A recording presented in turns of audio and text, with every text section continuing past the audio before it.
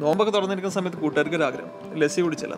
അപ്പോൾ ലസ്സി ഉണ്ടാക്കുന്ന ടാസ്ക് ഞാനും ഏറ്റെടുത്ത്. അപ്പോൾ അതിനുവേണ്ടി മിക്സർ ജാർ എടുത്ത് അതിനകത്തോട്ട് കട്ടി തൈര് പുതിന ഓറഞ്ച് നീര് ക്യാരറ്റ് പിഴിഞ്ഞത് ആവശ്യത്തിന് വെള്ളവും പഞ്ചസാരയും ചേർത്ത് ഒന്ന് കറക്കി എടുത്തു കുടിച്ച് നോക്കിയതിന് ശേഷം അവർ പറഞ്ഞു സൂപ്പറായിട്ടുണ്ടെന്ന് നിങ്ങൾ എല്ലാവരും ഒന്ന് ട്രൈ ചെയ്ത് നോക്കും.